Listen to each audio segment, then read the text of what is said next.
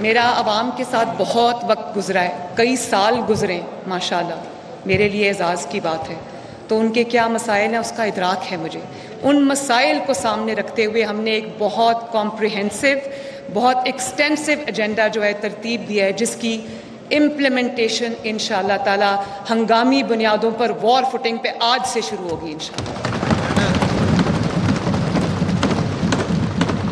उसमें सबसे पहले जो मीशत की रीढ़ की हड्डी है, जो बिज़नेस मन हैं, छोटे बिजनेसमैन हैं, बड़े बिजनेसमैन हैं, दरमियाने साइज़ के उनके बिजनेसेस हैं। मैं, मेरा विजन है कि पंजाब को हम एक जो इकोनॉमिक हब बिज़नेस का हब बनाएँ और इस किस्म की सहूलियात उनको दें जो पहले शायद कभी नहीं मिली। और उनको वो वाले, क्योंकि मैं ये समझती हूँ कि जो कारोबार करना है वो हकूमत का काम नहीं है। हकूमत का काम जो है वो पॉलिसी बनाना है। हकूमत का काम इनेबलिंग इन्वायरमेंट प्रोवाइड करना है। हुकूमत का काम रेगुलेशन है। हकूमत का काम कारोबार करने वालों को इंसेंटिव देना है, उनको वो माहौल देना है जिसमें उनको कहीं भी कोई लाइसेंस लेना हो, कोई उनको कनेक्शन लेना उनको कोई तकलीफ़ ना आए। और जो ब्यूरोक्रेटिक हर्डल्स उनके दर खड़े कर, किए जाते हैं, या कोई रेड टेपिज्म होता है, मैं चाहती हूँ कि पंजाब में एक ऐसा सिस्टम लेकर आऊँ। अगर किसी को टेलीफोन कनेक्शन चाहिए, वो कारोबार में इन्वेस्ट कर रहा है, उसको टेलीफोन कनेक्शन चाहिए, उसको बिजली का कनेक्शन चाहिए, उसको गैस का कनेक्शन चाहिए, उसको कोई सियासी दफातर में से कोई इजाज़त नामा चाहिए जेनविनली इन्वेस्ट करना चाहता है तो जनाब स्पीकर मैं चाहती हूँ कि वो दर बदर ख्वार ना हो। वन विंडो सोल्यूशन हम प्रोवाइड करेंगे इन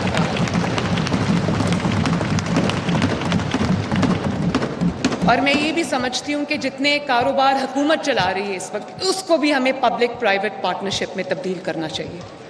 मेरा काम है पंजाब में पॉलिसी बनाना, मेरा काम है पंजाब के अंदर इनेबलिंग इन्वायरमेंट प्रोवाइड करना, मेरा काम रेगुलेशन है, वो हम करेंगे, लेकिन उसके साथ साथ हम बिज़नेस कम्युनिटी को पूरा फैसिलिटेट करेंगे, ताकि लोग अपनी इन्वेस्टमेंट लेकर आएँ, जो इकोनॉमिक रिवाइवल है, वो शुरू हो और तरक्की का पहिया पंजाब में इन ताला चलना शुरू हो। फिर गवर्नेंस का इफ़ेक्टिव मॉडल देना। मैं चाहती हूँ कि बड़ा एजाइल निम्बल गवर्नमेंट का जो हमारा कॉन्सेप्ट हो गवर्नेंस का कॉन्सेप्ट हो ट्रांसपेरेंट हो, जो भी मेरे काबीना के अरकान होंगे। और ब्यूरोक्सी ब्यूरोक्रेसी को मैं ये कह चुकी हूँ।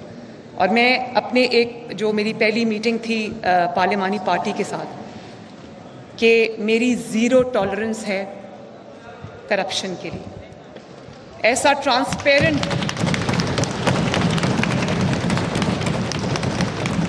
ऐसा ट्रांसपेरेंट हम कोई मैकेनिज़्म लाएँगे इन ताला कि जो ये रिश्वत और ये हर जगह पर जो अपना अपना ये जो पिलफ्रेज है, इसको हम, इसकी रोकथाम के लिए हम एक इफ़ेक्टिव सिस्टम लेकर आएँ। गवर्नेंस का एक इफ़ेक्टिव मॉडल लेकर आएँ, जिसमें टाइम लाइन्स हों, हर मंसूबे को जब कंसीव किया जाता है, उसको टाइम लाइन्स के साथ बाउंड किया जाए और उसके बाद उन टाइम लाइन्स की कंप्लीशन जो है, वो उनकी मॉनिटरिंग वो मेरी ज़िम्मेदारी इन वो मैं करूँगी। और ये भी मैंने देखा है कि जब आप हुकूमत संभालते हैं, उसके बाद आपका आवाम के साथ जो एक्चुअली ताल्लुक है, वो टूट जाता है। तो मेरी एक, ये भी हम, मैं इस चीज़ पे भी मैंने काम किया है कि मेरी हेल्पलाइंस खुली हों, चाहे वो यूथ के लिए हों या ख़वान के लिए हों या वो आम इंसान के लिए हों।